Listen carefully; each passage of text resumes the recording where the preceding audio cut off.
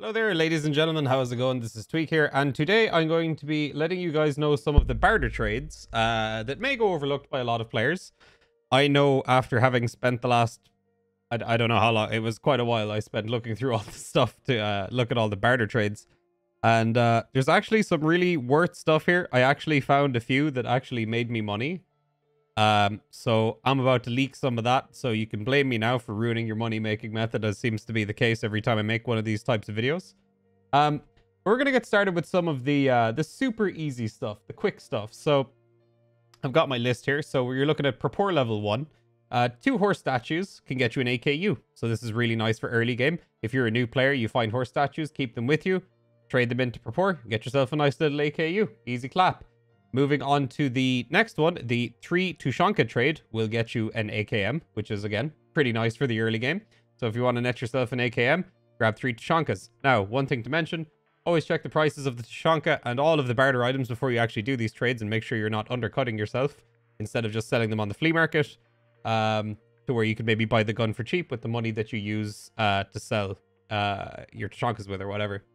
Um, next one, five T-shaped plugs for PP19s and two spark plugs will grab you a PSO scope as well. Now, what's great about this?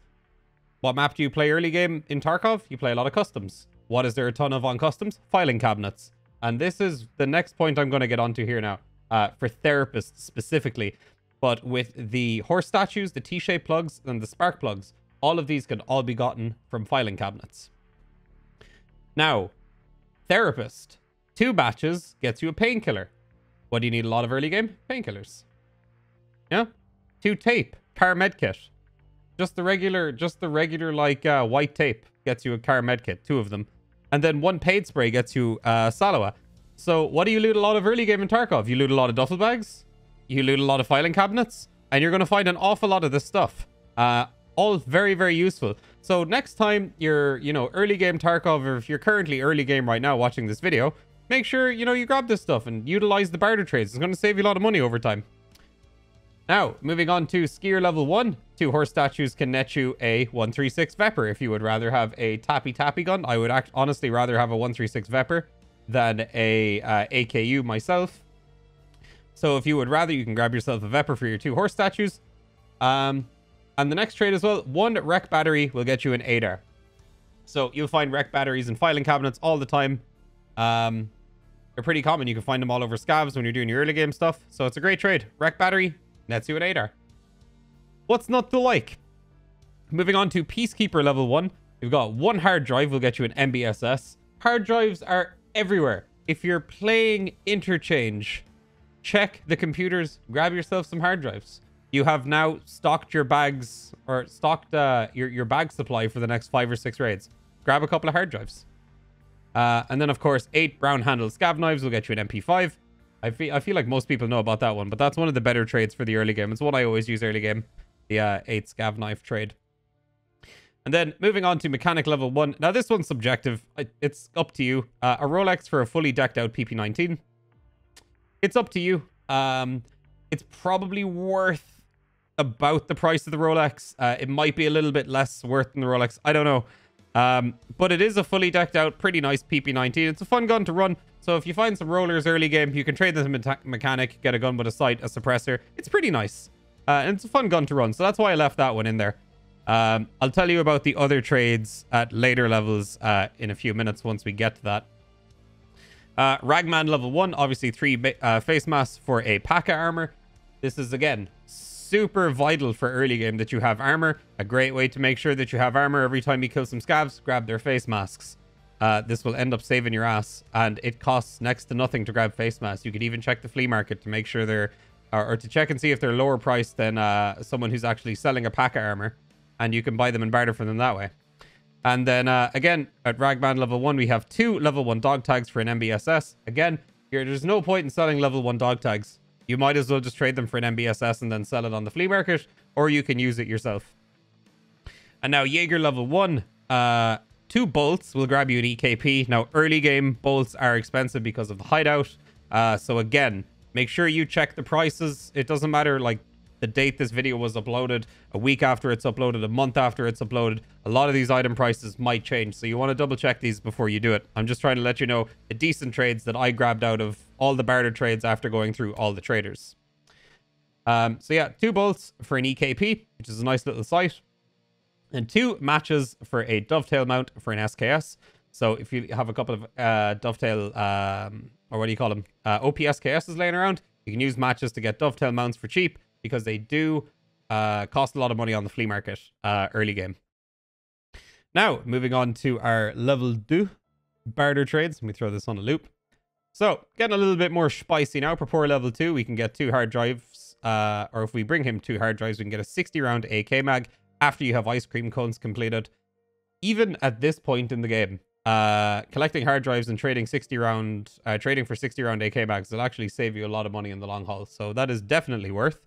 Um, you can also get a suppressed AKU for one cat statue. So if you like running suppressed AKUs or you want to get head start in your modding, you just buy it with a suppressor. You can trade a cat statue for it.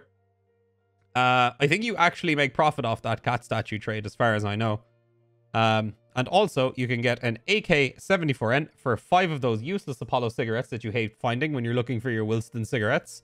Collect the Apollos. You can trade five of them for a 74N. Super easy to find as well. They're everywhere, especially when you're on that task where you need to find cigarettes.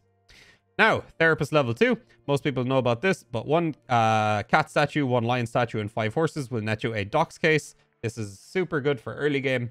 Uh, if you don't have your marked room key yet, you haven't been doing marked room runs, you can do some shoreline and uh, maybe check some safes and get lucky and you can find all this stuff and then trade that for a docs case. Uh, a meds case then at level 2 therapist will cost you 7 blood sets, 7 syringes and 2 vaselines.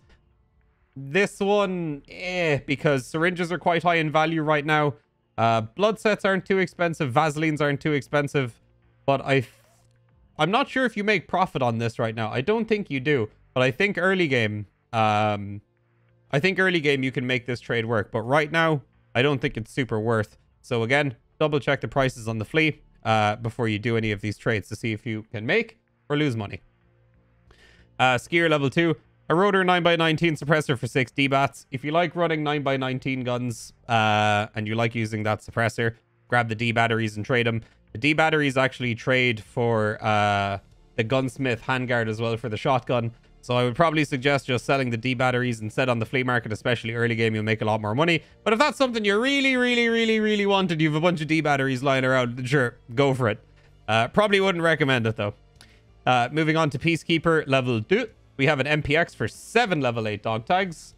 Um, you about break even on this. I think level 8 dog tags are worth like 4k 4k or so. So you're looking at seven of them uh 4k what's that 30 uh or sorry 28k dear god if my maths is wrong on this i'm pretty sure that's 28k um so that would be cheaper than just buying an mpx so if you want to just save up your dog tags for the early game you're better off trading them uh instead of just selling them uh until you start hitting like level 20 dog tags level 30 dog tags then they're definitely worth selling now, next one. You can get yourself an M4 for three CPUs and three fans. Early game, this isn't going to be worth. Right now, this is probably pretty worth. Uh, it'll just get you a stock M4 for three CPUs and three fans. They're quite cheap right now. But early game, probably wouldn't recommend this one. Uh, or sorry, I keep saying early game. I mean early wipe, sorry. I meant to say early wipe cycle. These items will have a lot more value to them. So again, it all goes back to make sure you check the prices on the flea before you invest in any of these. Now, this is one that I always do early game. Uh, mechanic level 2. One drill will get you an Osprey suppressor. I run a lot of MP5s and stuff like that early game, so I like to put Osprey suppressors on them. So anytime I find a drill, I always trade it for an Osprey suppressor. Um, and it's generally profit every time uh, you trade a drill for an Osprey suppressor. So make sure you grab those drills and don't just sell them. Always trade them for the Osprey suppressors.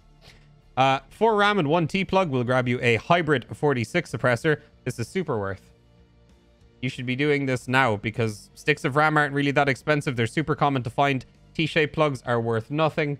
And a hybrid 46 suppressor is worth like 100k on the flea market. So do that one if you want to net yourself some profit every trader reset.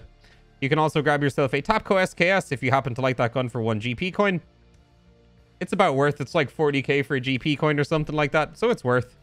Uh, and you can also get a somewhat decked out Tapco SKS with like a different stock and the different uh, foregrip on it. or the different uh, handguard on it, sorry, uh, for one air filter. So if you like those guns, go for those trades. Uh, you can also grab yourself a pro kill for a SOP mod M4. So if you happen to find any pro kills, trade them for SOP mod M4s because you'll make more money or you can just use the gun. It's basically an M4 with a suppressor uh, with a uh, Elcan on it, uh, with a hand, uh, with a, a grip and everything on it. It's pretty nice M4. Uh, for a pro kill, it's pretty efficient to trade that for it. So I would suggest that. Uh, you can trade two military cables and three lamps for an M700, but it, like it has an SDN suppressor and like a Leupold scope on it. This trade isn't really worth. I would rather just buy the M700, put the scope I like on it, put the suppressor I like on it instead. Um, I don't believe that the 2M cables is worth. I'd rather trade the 2M cables, uh, either sell them on the flea market, or I would rather uh, trade them for the big backpack from level 4 Prapor. Uh, but again, if you want to do a price check on them or you happen to like that Leupold scope, then go ahead. You can trade your M cables and your three lamps for it if you would like. Now, Ragman level 2. Uh, four ES lamps for a tri-zip. That's great. Where do you get tons of ES lamps? Filing cabinets. Where do you have where do you loot lots of filing cabinets? Early game. There you go. Three energy drinks for an Untar armor. So that will get you a class 3 MFUN armor. Uh, for three energy drinks, which are pretty common. You can find them in duffel bags all the time uh, or just scattered around like kitchen areas and stuff like that. You can also trade six matches for ComTacs. You find tons of matches in filing cabinets. Generally, once I'm finished looting customs uh, in the early game, uh, and I am collecting matches, I could have like 10, 12, 15 matches on me uh, by the time I'm finished. So like you get a lot early game. Uh, you can also trade milk, coke, and a coffee for a Karasa armor. Now, the coffee is kind of a tricky one because it's kind of hard to find early game and it is kind of expensive. Uh, but if you happen to find a bunch of coffee early game, you got some milk and some Tarcola lying around, you can trade that for Karasa armor if you would like. Depending on how much coffee is selling for, it might just be worth your time to uh, trade it for a Karasa that you can use in raid. Now, Jaeger level 2 has some very, very nice things for early game. He sells the Nightforce 34mm mount for a propane tank early game. If you want to make yourself a ton of cash, do this trade every time the trader resets. Uh, early wipe, and you will make a fortune if you can get to Jaeger level 2 fast enough. Uh, because everybody wants it for the gunsmith tasks. So that Nightforce trade is totally worth for a propane tank. Uh, I've seen them sell for like 150k early wipe easy, easily. And you can find propane tanks uh, on Shoreline super easily in the resort. You can find them on Interchange super easily as well. He also trades a Nightforce scope for a, um, a battery bank, two magnets, and one UV lamp. Again, this is very worth. Um, the two magnets and the UV lamps are super easy to get. You will find tons of these in the two tech stores on Interchange. The only thing you might struggle to find is the battery bank. They're kind of rare. Um, but yeah, you can always find them on the flea market. And generally, if you just buy it off the flea market, combine it with the other three items that you found, the two magnets and the UV lamp, you'll make yourself some profit. Now, moving on to Prapor level 3. You've got an F1 grenade for two ES lamps. Pretty good trade. You've got blue tape uh, for a pack of SPP ammo, uh, which is worth as hell. Uh, collect that early game because it will be worth a lot as you hit like the mid game and people are looking for that SPP ammo for the Val instead of using SP5 or SP6. Um, the AS Val trade for the four MREs and the two GM counters, it's not worth. Uh, the MREs sell for a lot more money than the gun is actually worth, and the two GM counters then on top of it as well. This is not a worth trade. Um, MREs have gone up a lot in value since the uh, introduction of the, you know, you have to food and water your PMC every raid, so this is not worth it. Um, the VSS for the two scissors and the uh, uh, the screwdriver thing as well, uh, that trade is fairly worth. Uh, but remember that the VSS uses the DMR skill, not the assault rifle skill. So you're not going to have as good recoil control with the VSS than you are with the VAL. So that's just something to keep in mind. Uh, the RPK is also not really worth. Uh, you need to trade 100 M61 rounds for it uh, on top of uh, some other item as well. I can't remember what it is. But those 100 S, uh, M61 rounds can probably be sold on the flea market for more money. Um, but I mean, if you really like the RPK and you've got a bunch of M61 rounds that you're not going to use, then sure, go for it if you want. Uh, but I'm pretty sure M61s are worth about a thousand rubles around. So yeah, I wouldn't be I wouldn't be doing that trade for the RPK. Now I could be wrong about the M61 price, but I'm pretty sure it's pretty high. Uh, level 3 therapist, there's nothing really worth grabbing here uh, in terms of barters. Uh, each case, you're better off just farming the money uh, to trade for. Uh, in my opinion, you're just buying it off the flea market. Uh, some of the trades are a little bit of a scam. for example, skier level 3, The Reaper trade there, the Reaper scope trade from Skier level 3 is a complete scam. Just buy it off the flea market. It's way cheaper. Uh, the 5 level 2 dog tags is nice for the hollow the hollow site there. Uh, it'll save you a bit of money. And uh, just be careful that you don't trade, like, you know, if you're collecting a lot of dog tags, you don't trade a bunch of tags that are super high level. Make sure you use the low level level 2 dog tags for the hollow. Otherwise, you're going to uh, you're going to let yourself a loss there. Uh, the DVL also trades for 10 horses. Pretty nice and easy trade. If you want a DVL, you got a bunch of horses lying around. You find horses everywhere in the game. Uh, so if you're the type of person who stocks stockpiles horses and you want to get a sniper rifle for it, you can trade it for a DVL if you would like. Um, also then, rip rounds for one T-plug. You can make some profit over time by collecting these. This is one of the money-making methods that I just discovered. Uh, trading a T-plug for the rip rounds, definitely worth, uh, in my opinion. Uh, you can sell those back on the flea market for a lot more than what the T-plug is actually worth. Um, so if you want to give that a try, check the prices, give it a go. Now, Peacekeeper level 3, couple of very easy ones here. The 60 round M4 mag for the air filter. It's always great. I use that one all the time. Same thing with the two circuit boards for the Stanag. 60 is also very worth the money. Um, a 5.7 for a GP coin? Eh. Meh. I probably wouldn't. Uh, but again, it's up to you. If you've got a bunch of GP coins you like 5.7s, go for it. Uh, panora panoramic NVGs are uh, for trade there as well for the Fierce Hatchling Moonshine. That is not worth it all. You lose yourself about 70k on that trade, so don't do that. Sell it and buy it with uh, cash, either with dollars uh, or just buy it from the flea market instead. Uh, the P90 is two military cables. Not worth it all. It is way overpriced. Uh, do not trade your military cables for the P90 at this current moment in time. Maybe at some other point in the wipe it might be worth it, but right now it is definitely not. Uh, the Arsas is 20 level 15 dog tags, so that's 135k worth of dog tags. Now, the Arsas early game sells for a lot because people want to get their Kiba keys early game, then they want to start farming Kiba to collect Arsas's to sell them on the flea market because people need them for their mechanic tasks. So, watch out for this one in the early game. If you happen to level up that fast and you can grab a bunch of those dog tags, you can net yourself a really nice profit there. You can make yourself enough profit to uh, get enough money to get a Kiba key, um, and then you could farm even more Arsasses if you would like, if that's what you want to do while you're playing Interchange, doing your tasks. Uh, Arsasses can be a lot of money in the early game if you can collect a lot of them. So that's one to keep out, uh, keep an eye out for. Level 3 Mechanic doesn't seem to be worth uh, at the current Bitcoin prices and the weapon part prices. Um, you just have to go through these, see if there's actually a gun there that you would like to use. I looked through them. All the trades seem pretty shitty. Uh, they all seem to net you a loss. And every single gun seems like you're going to have to do something to it to make it usable because in the current state that they're in, they're kind of shit. Uh, so to be honest with you, if you really want to do a price check, see how much the weapon is actually worth. You know, check the prices of the bitcoins at the time, the GP coins and all that other stuff that he trades the uh, weapons for from Mechanic. I, I probably just wouldn't. I, I really don't think it's that worth. It's probably not worth. I just wouldn't bother. Um, all right, so moving on to level 3 Ragman. The teapot for the belt rig is pretty nice. Teapots are pretty cheap, and the belt rig is huge, so that's really good for loot runs.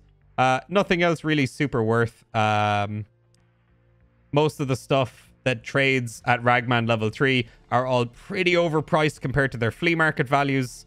So I would honestly just suggest to you um, grab that stuff on the flea market instead of uh, using your expensive barter items to trade for some of that armor and stuff. It's really not that worth. Uh, it might seem worth, but once I looked up a lot of the prices on a lot of this stuff, so you guys don't have to. And at the current moment in time, a lot of that stuff is total scam. It's you're not gonna you're gonna lose a lot of money on it. Like anywhere from like 30 to 50k, you're gonna end up losing on a lot of these trades. And now because I'm a clever boy, I forgot to show you guys Jaeger level 3, so my bad about that. Uh, the Reap IR trade here for 10 helixes is actually worth you can stand to make some money on this if you collect the helixes in raid, uh, or even if you buy them on the flea market right now, you can make a uh, you can make a pretty decent profit. They're about 17 to 18k each, so you're looking at 170, 180k. Reap sell anywhere from like 220k to 250k on the flea market right now. Also, the SICC case trade uh, is totally worth. Uh, you can stand to make some profit on this, even buying the paracords on the flea market. Uh, but again, this is an item that goes up and down in price quite a bit. Always make sure you check the flea market prices before you do this. As with everything else in this video, the prices are the day that I recorded the video. You always need to double check to make sure that you're still making profit and you're not losing any. Uh, and again, the Red Rebel Ice Pick, of course, is worth. It is non-stop sold out. Good luck even trying to get one. But the trade is totally worth. If you can get there right on the trader reset and you can maybe get one, you'll stand to make yourself a decent amount of profit. The Bramit Suppressor for three lunchboxes, not really worth. The FLIR for two Aquamaris and five Sugars. Uh, considering Sugars are about 50k each right now, not worth. And then the Camper Axe. I mean, if you want it for some reason, go for it. You're not going to make any money on it, but it's there. and the, yeah, the Saiga 12 Nerf gun for five Kansas Brats, four Aquamaris, and four out of six Squash. Yeah, great trade. Definitely, definitely, definitely worth. And for those that don't understand sarcasm, I'm kidding. This is not worth it all. Do not do this trade. It is a total waste of money. now, this is where things get spicy, okay? Prapor level 4, two military cables, super worth for the big bag. I use it all the time. I use it every raid. Two military cables, big, huge bag, totally worth. Um, it is a lot more expensive than the Attack 2, but it's also enormous. It's huge. Um, Ash 12 trade. Who uses the Ash 12? I don't think I've run into a single PMC this entire wipe who's used the Ash 12, so I don't think anyone cares. Uh, now, 7N12 BP. I made myself a ton of money while making this video. Let me tell you how. 7N12 BP trades for one packet of strike cigarettes. That's eight bullets, right? Each bullet of BP, 7 and 12 BP, is worth like anywhere from 1500 to 1700 rubles. Okay? Eight bullets come in the pack. I let you guys do the math. I bought like 300 packets of strike cigarettes uh, because I knew when I made this, that you guys are probably going to go buy all that shit out on the flea market. So I'm keeping my strikes. Okay, I'm going to trade them all for 7 and 12 BP because I actually really like that ammo. I'm probably going to sell some of it, but I'll probably use most of it. Um, so have fun with that. I'm sorry to the couple of people on the flea market that knew about this and have probably been making huge profit off it and I've just ruined it. So sorry about that.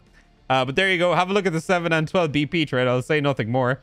Uh, therapist level 4. There isn't really anything worth. Um, yeah, the thick case trade there is non-stop sold out. The alcohol one. So that is obviously worth if it's constantly selling out. It's definitely worth. It's generally a good sign that something's profitable if the barter trade is constantly sold out. Uh, Skier level 4. The weapons case trade isn't worth it all. Uh, just run marked room and sell the vodka, sell the moonshine.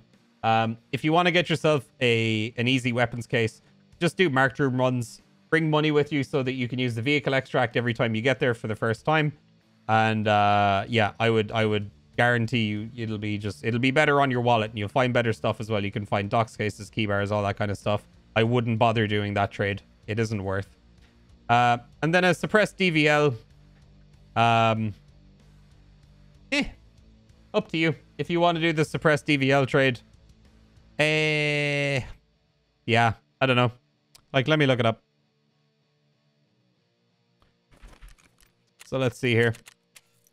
The uh, suppressed DVL from level 4.